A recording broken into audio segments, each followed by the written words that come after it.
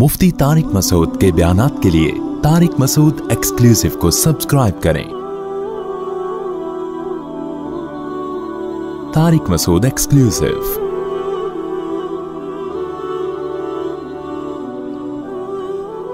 अल्लाह फरमाते हैं वखलक़ल्लासमावाति वल अर्द बिलहक़। अल्लाह ने आसमानों और ज़मीनों को किसी हिकमत के साथ पैदा किया है। ये यहाँ पर सेकुलर लोगों की जड़ें काट डाली।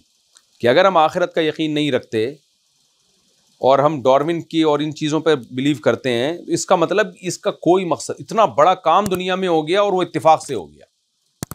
और खुदा ने एम ही बना दिया इसको, कोई मकसद पेश नज़र है ही नहीं।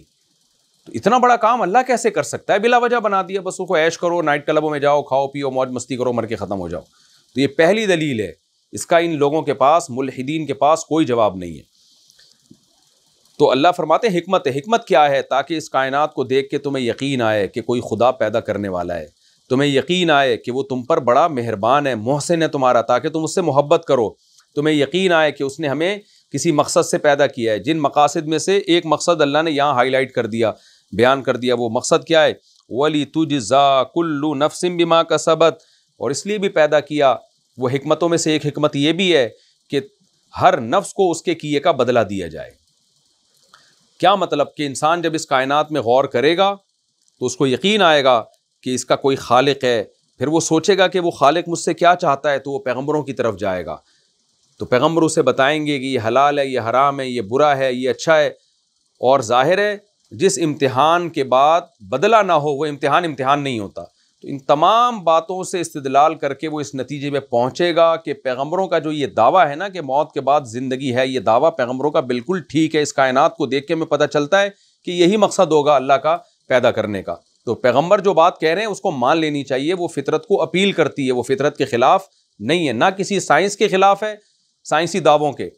ना मुशाहदे के ख़िलाफ़ है, ना फितरत के ख़िलाफ़ है।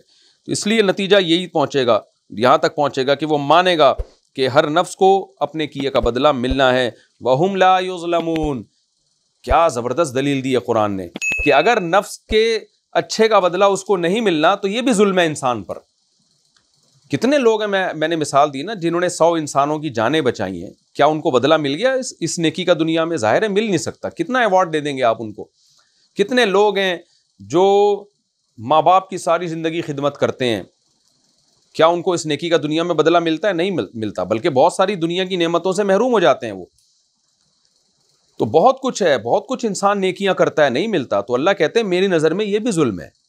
कोई भी गवर्नमेंट जो है जब कोई गवर्नमेंट के लिए बहुत बड़ा काम करे और गवर्नमेंट उसको फेवर ना दे तो उस गवर्नमेंट को जालिम समझा जाता है। तो अल्लाह कहते हैं दुनिया में ये जब कोई गवर्नमेंट के लिए कोई अच्छा करे उसको गवर्नमेंट बदला ना दे तो लोग उस गवर्नमेंट को बुरा समझते हैं। तो मुझ पर तुमने कैसे यकीन कर लिया कि दुनिया में कितने लोग बड़ी बड़ी नेकियाँ करके आएँगे और मैं उनको अच्छाई का बदला नहीं दूँगा? हालाँकि लिए अल्लाह के लिए जायज़ है कि वो बदला ना दे, लेकिन अल्लाह कहते हैं, मैं इसको जुल्म समझता हूँ। तो दुनिया में बदला नहीं मिलता, ये आखिरत में मिलेगा। लिहाजा आखिरत यकीनी है और ये मैंने कायनात बनाई है बताने के लिए कि तुम्हारा हिसाब व किताब होगा और जो अच्छे हैं, उनको अच्छाई का बदला मिलेगा। क्योंकि ऐसा हो नहीं सकता कि जिस शख्स पे भी कोई नेकी करे और उसको उसका बदला ना दिया जाए। अफ़ारा अईता मनीता ख़ादा इलाहू हवाहू, क्योंकि ये वाला पूरा रुकू ही एथियस लोगों के ख़िलाफ़ है।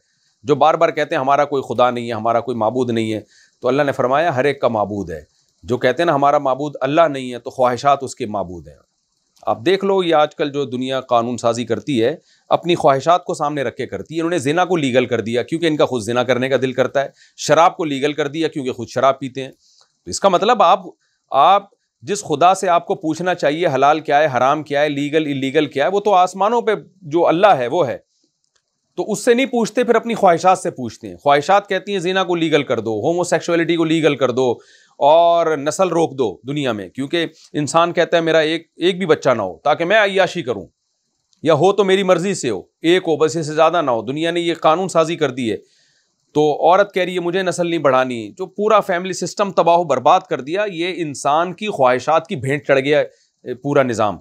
तो इंसानियत जो तबाही के दहाने पर खड़ी है ना, वो चंद इंसानों की ख्वाहिशात की भेंट चढ़ने की वजह से सूद का निज़ाम पूरी दुनिया में राइज हो गया। वजह क्या है? चंद इंसानों के मफाद इससे वाबस्ता हैं, लेकिन इंसानियत का बेड़ा गर्क हो रहा है। तो ये कुरान के के वाज अल्फाज हैं कि, भला उस शख्स को आपने देखा जिसने ख्वाहिशात और अपनी पसंद को जो है मबूद बना लिया हो। तो ये जो कहते हैं ना, मैं गॉड लेस हूँ, ये सब झूठ है।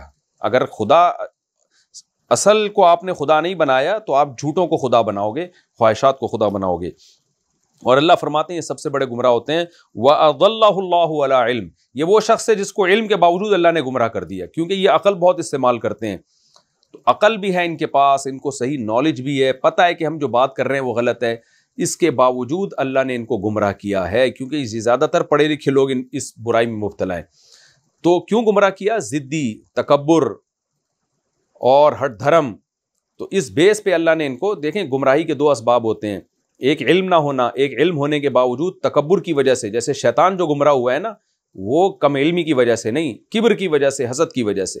तो अल्लाह फरमाते हैं, इनको अल्लाह ने इल्म के बावजूद गुमराह कर दिया। व ख़त्म आला सम इनके कानों पर मोहर लगा दी है, दिलों पर मोहर लगा दी है, आँखों पर पर्दा डाल दिया। यानी गुमराही के जितने इसबाब होते हैं, अल्लाह ने इनके लिए पैदा कर दिए। जानते, बूझते हुए भी जब इन्होंने हिदायत को फॉलो नहीं किया तो अल्लाह ने भी इनको अंधा बहरा बना दिया। अब इनको हक समझ में आएगा ही नहीं। फ़मन यहदी ही मिम्बादिल्ला तो अल्लाह के बाद अब इनको कौन हिदायत दे सकता है? तो इनको चाहिए कि अब अल्लाह से हिदायत मांगें, अब तकबर ख़त्म करें। तो अल्लाह के सिवा अब इनको कोई हिदायत नहीं दे सकता, किसी इंसान के बस में नहीं है। अफला तजक्रून तुम नसीहत हासिल क्यों नहीं करते? यानी अल्लाह आम इंसानों से ख़िताब कर रहे हैं कि ऐसे लोगों की हालत को देख के नसीहत हासिल करो कि जो खुदा के वजूद के मुनकर हैं और कहते हैं कि ये कायनात बेकार पैदा हुई। वक़ाल माही अल्ला दुनिया, ये खुदा के वजूद के भी मुनकर हैं। जब खुदा के मुनकर हैं तो आखिरत के भी मुनकर हैं।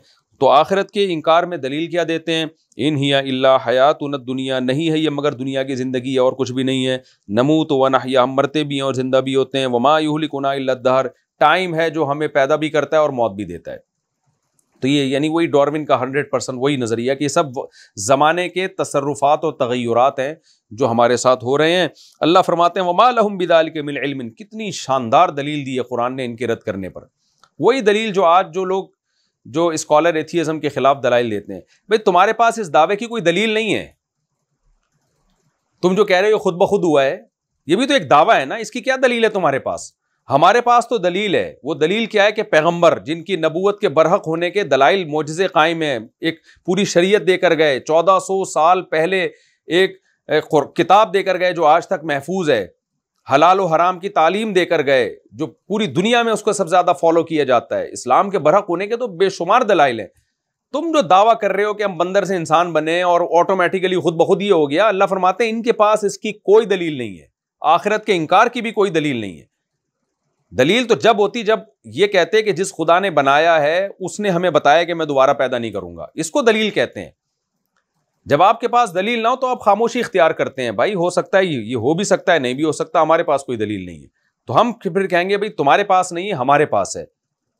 लेकिन ये क्या करते हैं कि अपने एक इम्कानी दावे को ताबीर उससे ऐसे करते हैं जैसे वो साबित शुदा हकीकत हो। तो ये जो कहते हैं ना, खुद ब खुद कायनात बनी और ये वॉल्व होके ये इसकी साइंसदानों के पास कोई दलील नहीं है। इम्कान है, उस इम्कान को ऐसे बना के पेश किया जाता है जैसे एक यकीनी चीज़ है। तो इसलिए अल्लाह ने फरमाया मालहम बिन इल्मिन इनके पास इसकी कोई यकीनी दलील नहीं है। इन हम यजुन्नून मास गुमान है। वाकई, यानी बिल्कुल वही बात कुरान ने की है जो आज आज साइंस कर रही है। साइंटिस्ट यही कहते हैं कि ये इम्कान है कि ये खुद ब खुद बनी हो। हमें इसके पर यकीन नहीं है कि ये ऐसा हुआ हो। तो इसके खिलाफ जब दलाइल कायम हो गए तो उसको छोड़ देना चाहिए। अल्लाह फरमाते हैं वहीदा तुतला आयातना बैनातिन दलील तो हमारे पास है, कुरान कह रहा है। वो दलील क्या है? आयात बैनात पैगंबर की रिसालत और कुरान की आयात जब इन पर तिलावत की जाती हैं, जिससे जिसके बरहक होने पर दलाइल कायम है। देखें, आखिरत दोबारा होगी कि नहीं होगी, मौत के बाद दोबारा ज़िंदगी है या नहीं है, इसके लिए अकली दलील नहीं चल सकती।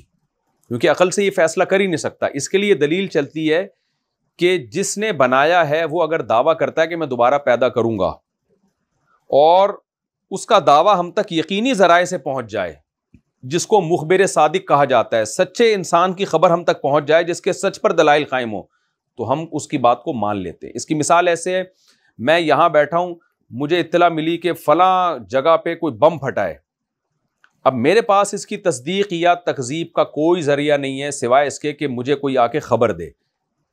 तो किसी ने आके ख़बर दी कि ऐसा हुआ है तो मैं अब क्या, मेरे लिए दलील क्या होगी? मैं ये देखूँ कि ये ख़बर देने वाला सच्चा है या झूठा? मैं इसकी तफ्तीश करूँगा। अगर ये साबित हो जाए कि ये सच बोलता है तो मेरे लिए ये काफ़ी है, क्योंकि मैं वहाँ तक पहुँच नहीं सकता कि जहाँ ये वाक़ हुआ है।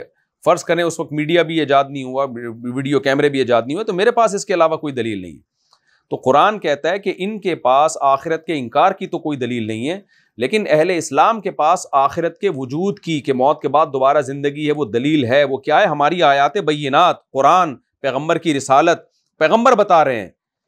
तो जब ये दलाइल इनके सामने दिए जाते हैं तो इनका जवाब क्या होता है जवाब में? माँ का ना हजता हूँ इनकी दलील यही होती है ई तू बिया बा इना इनको तुम सादिकीन। ठीक है, अगर वाकई अल्लाह पैदा करेगा तो जो मर चुके हैं, उनको ज़िंदा करके ले आओ। अब देखें कैसी बेहुदा, अपने दावे पर तो कोई दलील नहीं है, दूसरे के दावे की दलील पर रद्द करने का अंदाज कितना भोंडा है? हालाँकि कहीं भी इस तरह से किसी के दावे पर रद्द नहीं किया जाता। अल्लाह कह रहा है, मैं मुस्तकबिल में मुर्दों को ज़िंदा करूँगा। तो आप इस पर तो बहस करें कि अल्लाह कह रहा है कि नहीं कह रहा। मोहम्मद सल्लल्लाहु अलैहि वसल्लम अल्लाह का पैगाम हम तक पहुँचा रहे हैं तो इस पैगाम में सच्चे हैं या झूठे हैं? माज अल्लाह। ये तहकीक तो आप करें। और इसका पूरा पूरा राइट दिया है अल्लाह ने आपको। कि आप तहकीक करें नबी की नबूत के बारे में, आपकी सीरत को पढ़ें आप। क्या आप वाकई अल्लाह के सच्चे पैगंबर थे, पिछली किताबों में आपके बारे में क्या लिखा है, ये सब तहकीक करें। ये कोई दलील नहीं है कि आप ये कहें कि ठीक है, जो अभी मर चुके हैं, उनको ज़िंदा करो। भाई, अल्लाह ने ये दावा किया ही नहीं है कि जो अभी मर चुके हैं, मैं आज उनको ज़िंदा करूँगा। अल्लाह कह रहा है, मैं क्यामत में ज़िंदा करूँगा। अभी क्यों ज़िंदा करेगा अल्लाह ताला उनको? तो यानी इनके पास कोई दलील है नहीं, और सामने वाले की दलील का इनके पास जवाब नहीं है। तो अल्लाह ने अगर अभी ही ज़िंदा करना होता तो फिर तो मुशाहिदे का इल्म हो जाता ना, फिर गैब का इल्म थोड़ी होता। जो मरा अल्लाह उसको ज़िंदा कर करके दिखा रहे होते, फिर इतने दलाइल देने की ज़रूरत क्या थी? ये तो ऐसा ही हो गया कि अल्लाह जन्नत दिखा दे, जहन्नम दिखा दे तो हम यकीन कर लेंगे। दिखा दे हमारे सामने तो भाई दिखा जब देगा तो फिर ईमान का मौका ख़त्म हो जाएगा। अभी आजमाइश है, सोचने का तुम्हें मौका दिया है। तो किसी चीज़ का ना होना, इसकी दलील नहीं है कि वो पॉसिबल ही नहीं है। एक शख्स कह रहा है कि मैं फ्यूचर में ये काम कर सकता हूँ। तो आप कहेंगे, माजी में तुमने किया है? तो हो सकता है माजी में ना किया हो। वो दावा फ्यूचर का कर रहा है। हो सकता है उसने माजी में ना किया हो। तो माजी में किसी ने काम ना किया हो तो इसका भी इम्कान है कि फ्यूचर में हो सकता है ना कर सकता हो। इसका भी इम्कान है कि फ्यूचर में हो सकता है, वो कर सकता हो। तो अल्लाह तो कहते हैं कि हम, तुम भी तो मुर्दा थे ना, हमने पानी में जान डाल के तुम्हें इंसान बना दिया तो इसी से दलील पकड़ो कि दोबारा भी पैदा कर सकता हूँ मैं। तो इसलिए अल्लाह ने फरमाया कि इनकी कोई दलील नहीं सिवाय इस बात के कि ठीक है, हमारे बाप दादा को ले आओ, अगर तुम सच्चे हो। कुल्लाकुम ए नबी, आप इनसे कह दीजिए कि अल्लाह तुम्हारे बाप दादा को ज़िंदा नहीं कर रहा लेकिन ये इसकी अलामत नहीं है कि वो कर नहीं सकता। पैदा भी उसी ने किया था, मौत भी उसी ने दी है। जो पहली दफ़ा तुम्हारे बाप दादा पैदा हुए थे, वो भी अल्लाह ने पैदा किए थे। कुल्लाकुम सुम्मयुमी तुकुम ए नबी, इनसे कह दीजिए, अल्लाह ही तुम्हें ज़िंदगी भी देता है, अल्लाह ही तुम्हें मौत भी देता है। तुम अजमाउमिलक़ियामा फिर वो क़्यामत के दिन तुम सबको जमा करेगा, जिसके शक, वाक़ होने में कोई शक नहीं है। वला किन अक्सर अन्नासिलामून लेकिन अक्सर लोग इस बात को नहीं जानते, क्योंकि इसमें गौर व फ़िक्र ही नहीं करते हैं।